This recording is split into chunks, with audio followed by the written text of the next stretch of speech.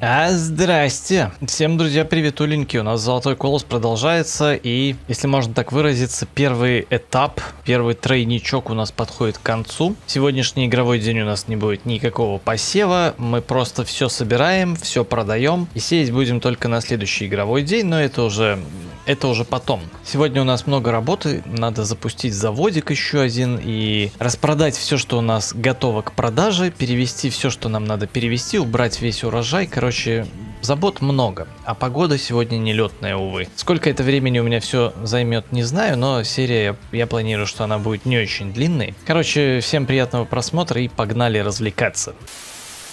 Начинаем, друзья, мы играть с полей. На всех полях у нас растет свеколка и, соответственно, не знаю, сколько времени у нас уйдет на уборку. У нас есть один комбайн, мы никуда не торопимся, поэтому пускай он себе тихо-мирно ездит, развлекается, собирает эту самую свеклу. В теории, конечно, ее должно быть очень дохренище здесь. Со всех-то полей, да даже с этого поля будет дохренище. В прошлый раз мы с маленького 11 нашего поля, вот с этого вот, на котором, кстати, даже известь требуется, мы собрали 500 кубов. Я думаю, что мы за забьем все свои склады, и завод наш, который перерабатывает эту сахарную свеклу на сахар, будет работать некоторое время. Ну как некоторое, довольно долго он будет работать. Сейчас он остановлен, в прошлый раз э, я его запустил, и еще 50 кубов не переработалось. Но тут переработка 50 кубов в час идет, так что к 10 утра он уже закончит свою работу.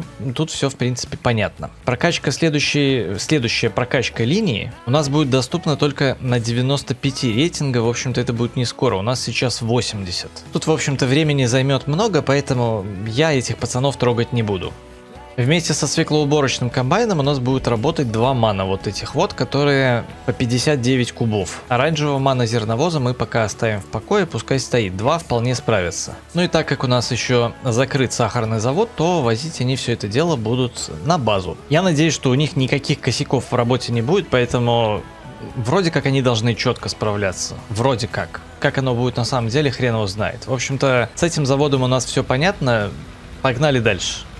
Далее, друзья, мы пробежимся по нашим складам. Пока шел посев этой самой свеклы, мне было нечем заняться, поэтому я перевез все наши заначки на товарные склады, которые мы купили, поэтому теперь это все дело у нас хранится именно здесь. Вся мука, все крупы, которые у нас есть, жалко, что оно как-то непонятно здесь растасовано. Причем это не в том порядке, в котором я привозил. Как-то здесь все на обум, если честно. Черт, я выгрузил поддон, да? Ладно, не проблема. Закинем его потом обратно, когда там будем где-нибудь рядом. Ну, короче говоря, все товары, которые мы на данный момент производили, они у нас есть по 60 кубов, то есть мы можем в, любом, в любое время взять какой-либо срочный груз и спокойно его отвезти. Также на базе у нас есть еще картофель 357 кубов, но пускай он лежит на всякий случай, и лен, который тоже пускай лежит. У меня уже для него есть применение на будущее, я уже придумал, куда его дену, но об этом расскажу не, далеко не в этой серии. Далее, друзья, друзья, теплички. В тепличках у нас тоже все закончилось. На восточном тепличном комплексе у нас есть 850 кубов клубники, и ее нужно будет продать. Ну и грунт надо будет обязательно обновить, но в принципе в течение трех дней можно будет этот самый обогащенный грунт привезти, надо будет купить. На северном тепличном комплексе в принципе все то же самое, поэтому сейчас вот быстренько вот так вот меняем грунт. Здесь у нас 914 кубов томатов, баклажанчики есть, огурчики. В общем-то, все это дело надо продать и, соответственно, заработать кучу бабла. Но это мы тоже чуть-чуть попозже сделаем. Запустим в работу. По заводам, друзья, у нас, во-первых, сахарный завод. Э, осталось, как я уже показывал, свеклы 50 кубов, но это ладно, оно будет продолжать работать, пускай работает. Есть у нас 500 кубов сахара. Его тоже мы продадим. И, друзья, совсем я забыл про то, что надо вывозить жмых. Его здесь насобиралось уже миллион. На самом деле миллион жмыха вывести это довольно геморройное занятие. Вывозить его особо сильно некуда. На данный момент можно вывести только лишь 35 кубов. И это потому, что я вчера, в прошлый игровой день, вывозил отруби. От жмыха мы сейчас избавиться не сможем. На мельнице же э, осталось 44 куба отрубей, но я днем, короче, вывез все, что там было из отрубей. Но завод еще продолжал работать, поэтому что-то потом насобиралось. В общем-то, это дело тоже неплохо было бы отсюда вывести. Ну и насобиралось здесь немало товаров. В принципе, по крупам их довольно мало, но вот муки 365 кубов есть, ее тоже неплохо было бы продать. Так, что тут с задачами в принципе все просто. Ну а перевозками, друзья, мы будем заниматься с помощью наших контейнеров, причем контейнеров маленьких. У нас их есть 4 штуки вот таких вот классных. Один, правда, занят комплектующими, надо будет как-то его тоже освободить. На самом деле, с учетом того, что мы сейчас никуда не торопимся и как-то мне пришло в голову, что надо бы все-таки поменьше одновременно техники запускать. Возможно, большие контейнеры мне бы сейчас точно не помешали, но мы запустим всего лишь два в работу, маленьких, и будем их пускать по очереди. Но к этому мы вернемся тоже чуть попозже. Погнали, я еще покажу, что нам еще сегодня надо сделать.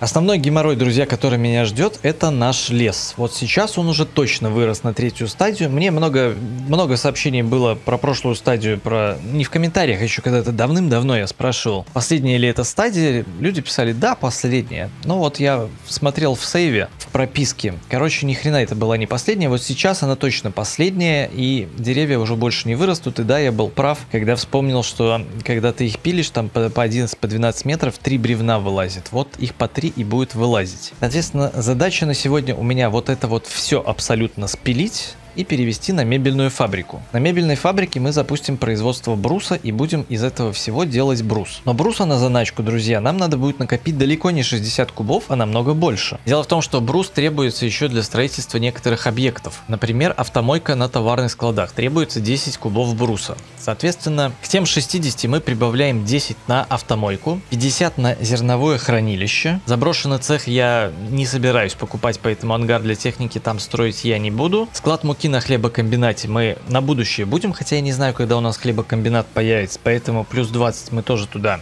добавляем. Склад муки на мельнице тоже еще плюс 20, хотя можно, кстати, уже будет заняться его строительством. Рисовую ферму мы будем покупать, поэтому там склад для техники тоже нужно будет строить, так что еще 20 туда. На товарных складах склад муки мы тоже обязательно будем строить. И склад жидкости на хлебокомбинате не требует у нас бруса, поэтому туда не надо. По итогу, друзья, мы имеем, что нам нужно затарить 200 кубов бруса, чтобы у нас была заначка на срочный груз, и чтобы мы потом не имели проблем с тем, что нам нужно будет что-то построить, нужно будет надыбать брус. Все остальное покупается. С остальным проблем не будет. Я надеюсь, что вот в этой вот части нашего леса, которая здесь осталась, увы, пришлось немножко попилить раньше до этого. Этого всего дела хватит. После того, как мы это все спилим, уже будет э, какое-то близкое понятие о том, сколько древесины здесь получилось, мы это все дело запустим на мебельной фабрике и сможем делать выводы, стоит нам здесь сажать лес еще один или не надо. Хотя я думаю посадим, почему бы и нет.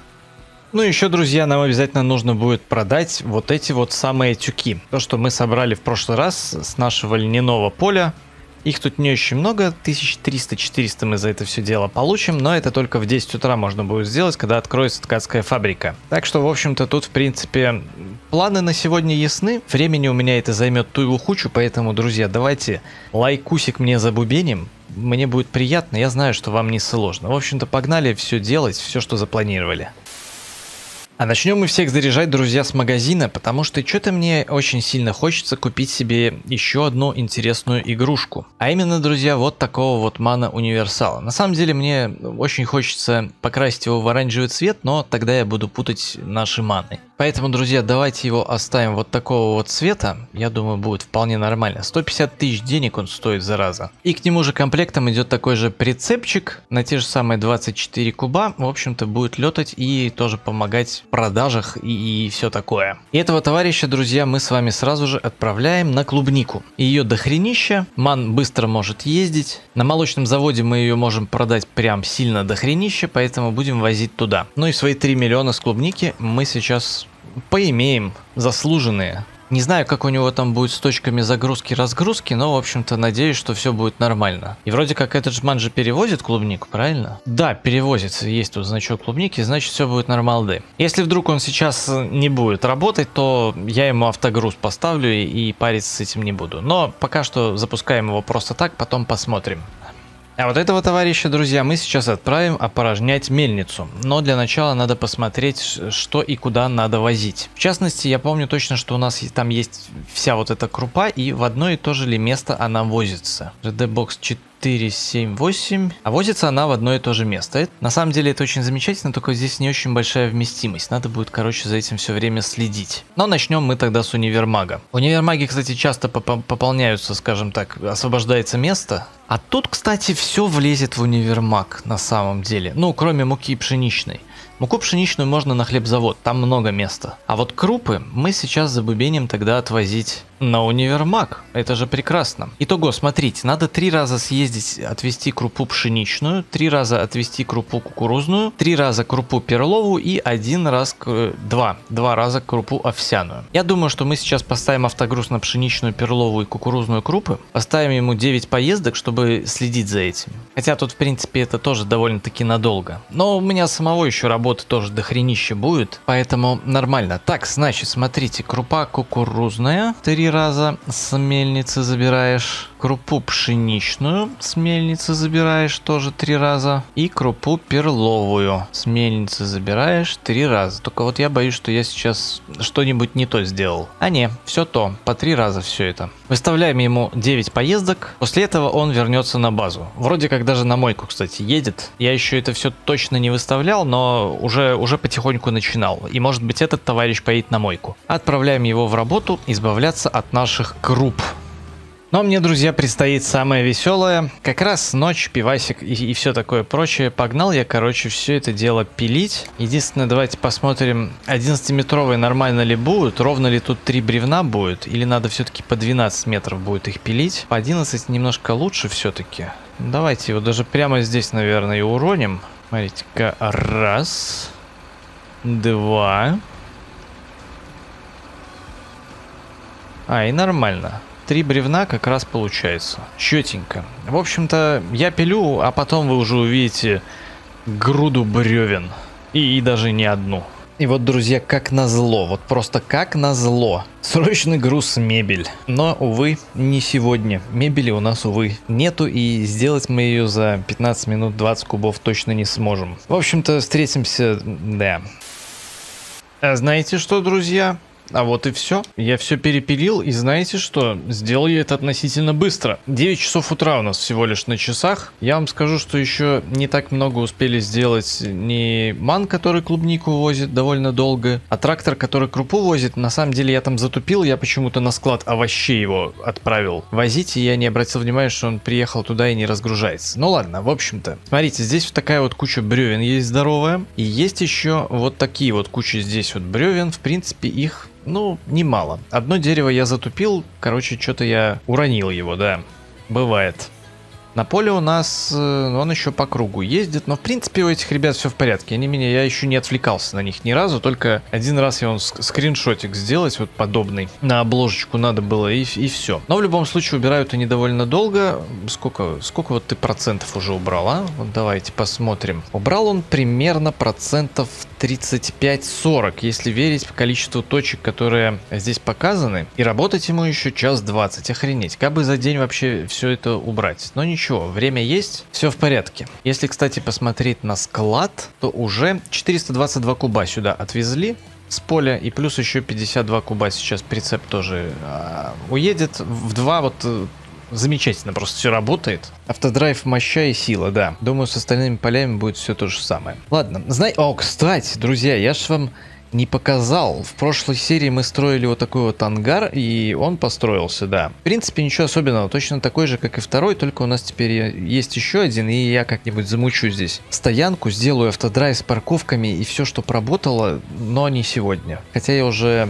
миллион раз говорил о том, что я это сделаю, и все никак не сделаю. А там, кстати, он и клубничка продалась из кузова, 72 тысячи, а сейчас еще продастся из прицепчика. Дальше он проедет, и будет еще 72 тысячи. Клубничка моща, у нас уже больше двух миллионов денег, но клубники как-то не очень много вывезлось за все это время, если честно. Хотя вон 300 кубов уже вывезли почти. Нормально, работает. Ладно, у меня сейчас задача посерьезнее на самом деле. Вот это вот все дело надо отвезти на мебельную фабрику. Я, друзья, отвезу все на мебельную фабрику, фабрику, а завод запускать не буду. Просто, знаете, ради того, чтобы посмотреть, э, сколько здесь всего этого дерьма. Поэтому, ладно, погнали первую ходку я отвезу с вами. Поедем мы кататься на нашем мане, на оранжевом вот этом вот. И на, зерново... на зерновозе. Ха. На бревновозе. Сейчас мы его подцепим, первую ходку отвезем. Да, даже, знаете, на всякий случай я проверю. Мебельная фабрика, линию мы выключаем. Во-первых, еще сколько времени это увезет перевести, потому что бревна, они неустойчивые, а, а с моим умением ездить, вероятность перевернуться, она настолько высока, что если бы я сейчас стримил, то люди бы считали, сколько было бы перевертышей. Но, увы, с учетом того, что 12 часов вечера, ночи, я это все сейчас стримить не буду. Хотя занимаюсь я сейчас такой, знаете, работой, которая вот на стримах было бы само то, наверное. Ну да ладно, погнали, в общем-то, загрузим бревна из вот этой вот кучи. Их тут вообще на глаз много. Несмотря на то, что, наверное, мы больше половины деревьев спилили до того, как они выросли, их тут прям намного больше, чем было. Что-то вот мне подсказывает. Хотя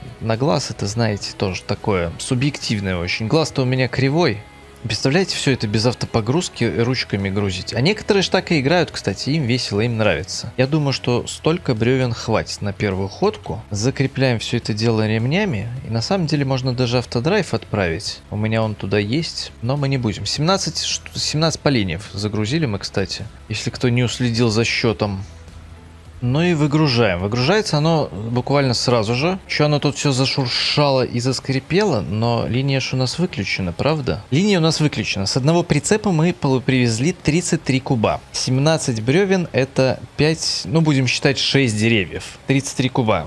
Понимаете разницу, да, когда у нас снабжение было? Капец, сколько мы древесины на самом деле тогда потеряли на том снабжении. Причем ни хрена с него-то и не получили по факту. Короче, друзья, я сюда сейчас все это по-быстрому перевезу. Ну как по-быстрому? Я надеюсь, хотя бы за полчаса управлюсь. И мы запустим лесопилку наконец-то. Ну и что, друзья, у нас прошло, между прочим, уже 20 минут. Я отсюда вот все увез, теперь здесь чистенько. На самом деле нет. На самом деле я отвез прицепа 4, и это собралось, да, то, что лежало в середине, плюс вон тот прицеп, который я сюда отогнал. Собрал я, значит, эти бревна и подумал, а насколько же склад на мебельной фабрике по объему? И хорошо, что посмотрел. Склад, друзья, на 200 кубов, а мы привезли уже 190. Исходя из этого, посчитать, сколько мы здесь напилили древесины, ну не получится у нас. В итоге мы узнаем потом, сколько мы бруса наделали, наверное. А вот с древесиной не все так хорошо. Склад маленький. Ну, в общем-то, я запустил лесопилку, она пускай вот работает, пускай делает нам брус. Я периодически вот эти вот все бревна буду туда подвозить. Буду стараться следить за всем этим делом. Не знаю, насколько хорошо у меня это дело получится следить и не провтыкать, но буду стараться. Хотя, с другой стороны, что, когда лесопилка остановлена, уведомлялка приходит. Ха. Параллельно с этим, друзья, у нас на поле вовсю идет уборочка свеклы продается все, он крупа сейчас продается. Но крупа это не самое дорогое, что можно продать. Клубничка, вот клубничка это да. Клубнички уже вывезено, ну, почти половина. И обслуживание техники произошло, сам комбайн починился. А то опять начнут потом писать, почини технику, у тебя урожай херовый. Все равно ж найдутся такие, я знаю. На стримах так точно, если правда стримы проходят. А то хрен его знает, как оно там все сейчас. Если мы, кстати, посмотрим в нашу статистику финансов, то клубники уже на миллион продано. Потому что я кроме клубники никакого урожая не продавал, а вот крупы сколько продавалось, всего лишь 85 тысяч дохода от продажи продукции. В общем-то, пускай оно потихоньку тут катается, продается, и, пожалуй, мы встретимся с вами, друзья, уже когда что-нибудь там другое начнем продавать. Короче, да, пускай они пока катаются. Ну что, друзья, 11.18 утра. Дождь все еще идет, у нас заканчивается уборка первого поля. Ну, точнее, четвертого, пятого, но первое, поскольку это первое по счету, которое мы убирали. Сейчас мы отправим вот этого товарища на разгрузку. Во. Вот этого товарища мы, который ожидает вызова, не знаю, пускай здесь стоит. Ну, а комбайн, соответственно, мы снимаем. Прервать маршрут. В нем еще 900 литров осталось, а что в нем осталось? Странно, ну ладно. Сейчас все равно другие поля надо будет убирать. Правда не сейчас, но будем считать, что сейчас. Итак, смотрим на склады. Мы собрали примерно миллион, миллион триста пятьдесят где-то с этого поля. Я думал, будет больше, если честно, но все равно неплохо. Это будет перерабатываться у нас ой, до следующего сезона, мне кажется. У этого товарища у нас закончилось топливо, поэтому, наверное, его стоит отправить на заправку. Но, друзья, я это сделаю уже попозже, потому что сейчас у меня на часах 2.10 ночи, и я тут собирался идти спать, но сначала, опять-таки, и всякие интересности. Во-первых, я отправил работать еще вот этого пацана, который у нас возит грунт. Он, в принципе, молодец, он потихонечку это все дело возит, есть не просит. Тут как раз вот, знаете, вот таким вот вывозить грунт с теплиц само то, потому что он заполняет бункер примерно раз в час, и он сразу же обновляется. Я имею в виду вместимость вот продажи. То есть вот мы отработанный грунт смотрим, смотрите, вот сейчас осталось 286 кубов свободного места, и вот за ближайшие 40 минут по времени он их забьет, и это все дело обновится. Короче, все работает четко. Это уже проверено годами, что ли. Короче, давно проверено, да. Также, друзья, наш контейнер, он буквально минут 5 назад закончил свою работу. Он отвозил всю крупу. Он ее отвез, он молодец. И да, у него место парковки назначено в автомойке. Я на самом деле думаю, что я всем назначу парковочные места именно сами, самой техники. Тракторам, грузовикам, вот здесь вот. И когда и автодрайв будет сам отправлять, или курсплей будет их отправлять на парковочное место, то они всегда будут ехать сразу мыться. И вы будете довольны, что у меня чистая техника. Хотя вы не всегда будете видеть ее чистой, потому что после 10 поездок, например, с грунтом этот товарищ выглядит вот так. Новый наш ман вообще вот так вот выглядит. Мы его только недавно купили. Хотя недавно. Он 112 километров уже намотал. Тупо до клубнички. Он молодец. Так что я, наверное, сделаю так, чтобы они были, ну, иногда хотя бы чистенькими, да. Вот, что касается вот этого мана. Он везет последний рейс клубники, и мы сейчас, вот когда он его отвезет, мы посмотрим, сколько же мы заработали на клубничке за три дня. Три дня мы выращивали на теплицах клубничку и сколько же будет дохода. В принципе, я-то знаю, сколько будет дохода. Правда, у меня всегда ориентировочные цифры были, а сейчас мы посмотрим точные. Точнее, не точные, а с совсем небольшой погрешностью. Ну и параллельно, кстати, еще вот этот вот товарищ тоже помогал э, всем этим ребятам. Он отвез сначала всю овсяную крупу, на продажу. А после этого я его отправил, как раз там посчитал, сколько рейсов надо сделать Уралу, чтобы это все четко было. И вот они вдвоем сейчас одновременно заканчивают и вывезли всю клубнику. Короче, можете считать, что я тоже молодец. Он сейчас этот рейс делает и едет тоже обратно парковаться. А у Мана еще место для парковки не назначено. Ну, он новенький. Я еще с этим не разбирался, не игрался. Так что ждем, пока он сейчас сюда доедет. И пойдем смотреть всякие интересные циферки и, и планы на дальнейшую работу. А, кстати, Урала, чтобы они не пересекались, чтобы они не совсем по одному маршруту ездили, я отправил на универмаг, а этот на Бурену катается, ман. Хотя для вас это не секрет. Блин, ребята, как же меня этот дождь достал, вы бы только знали. Ну ладно, ничего. Кстати, вот хорошо, что сегодня у нас уборка свеклы, потому что свеклу можно убирать в дождь, а зерновые нельзя. Итак, Урал, точнее Ман, приехал, разгружается, Красавчик. Денежки нам капают. Давайте-ка мы его с маршрута снимем, потому что сейчас ему это уже не надо будет. Разгружаем еще вот этот вот прицепчик. И погнали смотреть и считать. Это же самое интересное, да? Или нет? Но, короче, смотрите. Доходы от продажи урожая. Это чисто клубника. Это клубника и пара тысяч за грунт, которые успели перевестись. Но это пара тысяч за грунт, это, ну, в данном размере это ничто, это минимальная погрешность. Итого 2,5 миллиона. Также мы сегодня продавали еще продукцию, э, конкретно крупы, именно крупы, только крупы. В принципе, они недорогие, в принципе, их было немного, тут 263 тысячи у нас заработано. Далее, друзья, мы переносимся на нашу ткацкую фабрику. Точнее, это не наша ткацкая фабрика. Но мы сюда привезли тюки, которые мы собирали. Льняные, сухие. Хотя они тут под дождем простояли столько. Мне кажется, они уже ни хрена не сухие. Но игра об этом не знает, слава богу. Короче, это дело мы сейчас тоже продаем. И посмотрим, сколько нам это все дело принесет денег. В прошлый раз, по-моему, около 350 тысяч это все дело принесло. Но это, по-моему, и я в этом, в общем-то, точно не уверен. И еще еще с мана. С мана продавать, кстати, намного проще. Катался туда-сюда обратно по триггеру и все. Но вот ман сюда привести, вот это вот на самом деле геморрой, потому что центр тяжести довольно-таки высоко, и это падла норовит опрокинуться просто в любом месте. У меня, видите, в автодрайве скорость 30 на нем выставлена, потому что когда я его по автодрайву запускал, он, все, он тоже переворачивался. В общем-то, ремни мы отстегиваем и просто вот так вот проезжаем по триггеру, и это все дело сюда вот так вот бздынь, бздынь, бздынь, бздынь, бздынь, бздынь, бздынь, падает, и еще 274 тысячи ровно. Если мы откроем менюху, то видим 2896. За вычетом того, что уже было э, за клубничку, там 2557, по-моему, получается 339 тысяч заработок с этих тюков. С 10 поля. В принципе, имеет право на жизнь. Почему бы и нет?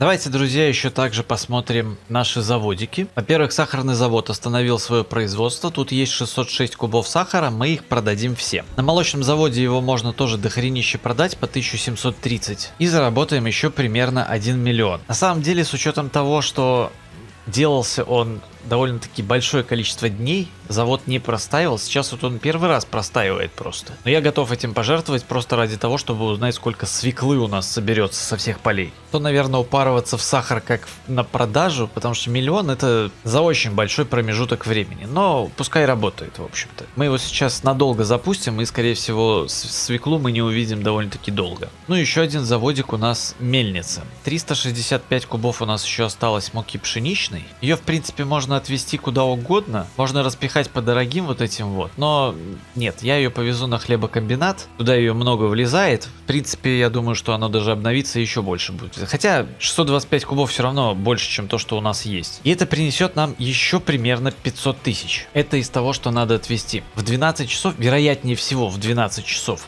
обновится вот эта вот штука, отруби и что там, жмых или лузга, я, честно говоря, путаю, жмых, наверное, да? Или жом, неважно. Я вывезу с мельницы все отруби и сколько получится сахарного завода остатков. Ну и, в общем-то, отныне, скорее всего, буду следить, просто все время это мониторить и стараться это все дело вывозить сразу же, потому что мы миллион насобирали и хрен его знает, как его оттуда теперь вывести. Можно, в принципе, подкрутить вот это вот все дело, что я уже делал, но что-то как-то не хочется. И последнее, друзья, что у нас осталось. Томатики, баклажаны и огурцы. Ну и грунт потихоньку будет вывозиться, это в принципе тоже все понятно. На восточном тепличном комплексе у нас уже вообще ничего не осталось, потому что мы все на склады перевезли. На северных тепличках у нас остались томатики, баклажаны и огурчики. И причем до хрена ж всего осталось. Вывозить их, скорее всего, будем полностью на консервный завод. Скорее всего, там тоже информация будет обновляться и повезем все это туда. Ну и если мы продадим баклажаны по этой цене, в принципе, можно округлить до 1000, получим 775 тысяч, ну, чуть меньше. Не знаю, куда я это все буду развозить. Огурцы у нас чуть дешевле, и их меньше.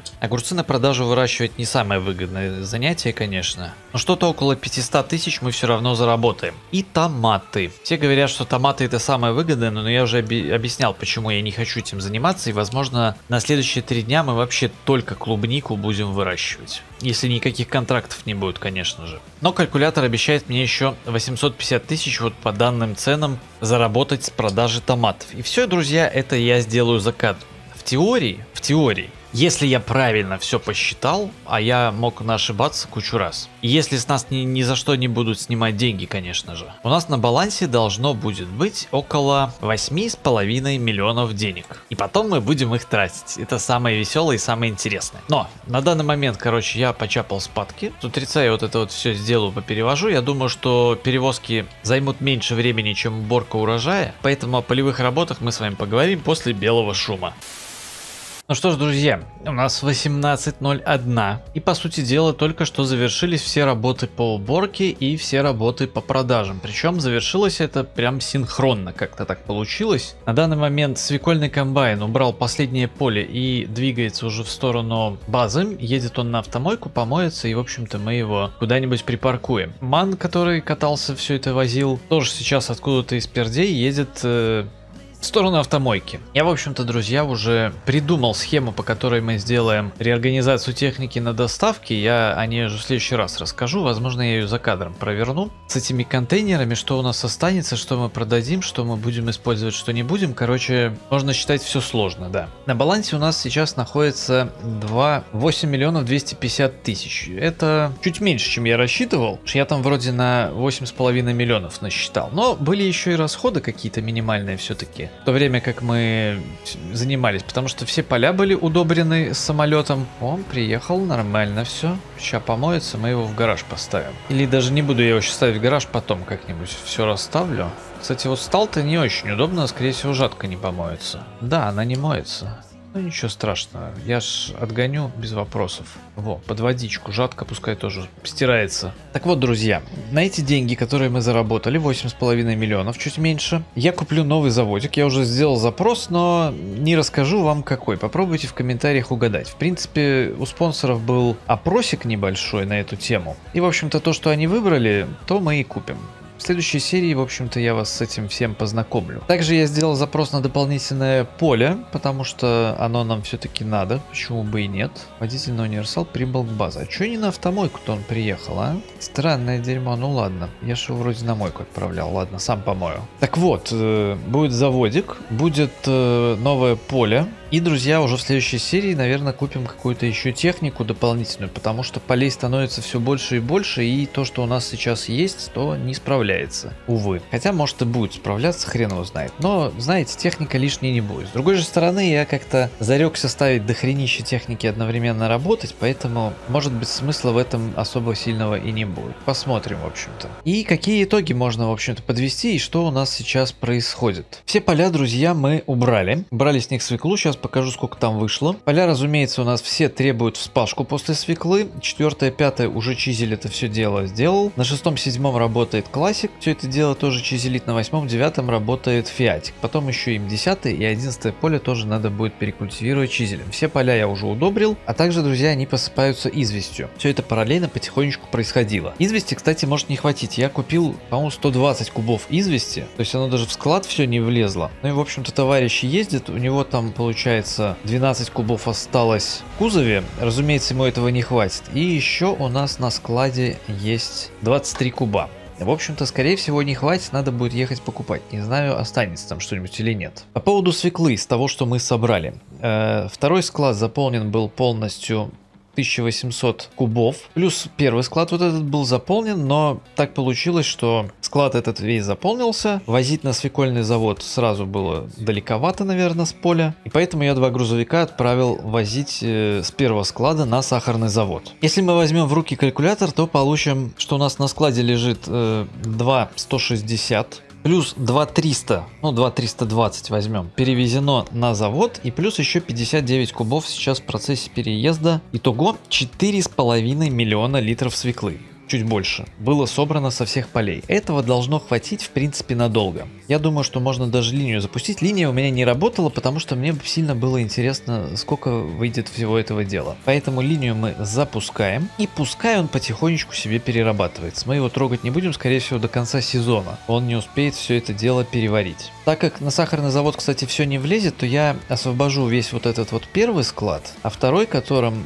который полностью забит, я освобожу попозже, когда на сахарном заводе останется меньше, чем миллион восемьсот тысяч литров. Тогда мы все это дело перевезем. Я думаю, это будет самое правильное решение. Далее, друзья, что у нас еще интересного произошло? Ну, товары продались, это все понятно. Мельница у нас пустая. С мельницы я вывез отруби. Кстати, вот по поводу цен произошел небольшой баг, у меня не обновлялось. Оно должно каждый час было обновляться вот это вот вместимость на отрубе и на все остальное. Оно, короче, у меня не обновлялось. Я Игорю ошибку скинул, он мне через 10 минут выкатил фикс. Так что сейчас это работает, но пока я этим не занимался, этим тоже, знаете, постепенно будем, просто надо за этим следить. Там вот миллион литров собрался, в принципе, за один рабочий день это все дело можно будет вывести. Не проблема. Ну и по поводу э, теплиц. Склады все опустошены, грунт северных теплиц был полностью вывезен, с восточных нет, потому что грузовика я того переставил свеклу возить. В общем-то, тоже он не проблема. Сейчас еще до хренища полевых работ будет, и это все надолго, потому что надо все засеять, надо будет все поудобрять и так далее. Чем буду засеивать, ребята, вы уже узнаете в следующей серии, когда у нас уборочная будет, как и все остальные новости. И по поводу леса еще что у нас изменилось, друзья. Я все перевез на мебельную фабрику абсолютно и выкорчевал отсюда все пеньки. У нас был стримец со спонсорами, на котором мы свеклу возили и пеньки все поубирали. Так что тут в принципе тоже все понятно. По поводу древесины. По-моему,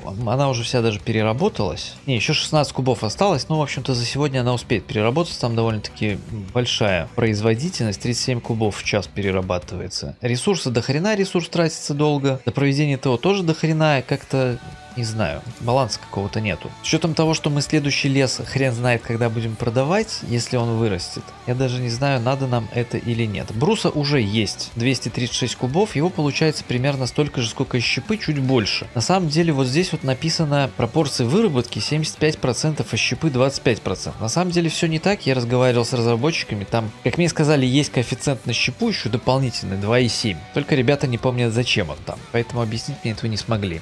Но типа так и задумано. Это не баг, это все нормально. Это фича. Но я этого понять почему-то не могу. В общем-то, это все дело переработается уже, знаете, на следующий день, уже в следующей серии мы вывезем этот брус отсюда. Как я собирался 200 кубов на склад вывести. А может за кадром сейчас перевожу. Просто он закроется скоро, поэтому я, я не хочу сейчас это все дергать. А весь остальной брус со щепой мы переработаем он в ДСП щепу. И все, что можно будет, сделаем мебель из этого. И, скорее всего, продадим. Ну и дальше я уже не знаю в надобности нам мебельной фабрики, знаете, лесом заниматься сильно мне не очень хочется. Это не самое веселое занятие, тем более с учетом отсутствия автоматизации там. Поэтому что делать с мебельной фабрикой мы еще потом подумаем. Так что вот какая-то вот такая вот продуктивная серия, на самом деле я ее три дня записывал, поэтому если вы поставите лайкусик, то мне будет очень приятно. А в следующей серии, друзья, уже будут новые заводы, новая техника, новая уборочная, новые дни, новые посевные и так далее. Денег будет потрачено, конечно, уйма, от этого никуда не денешься, тут это все понятно,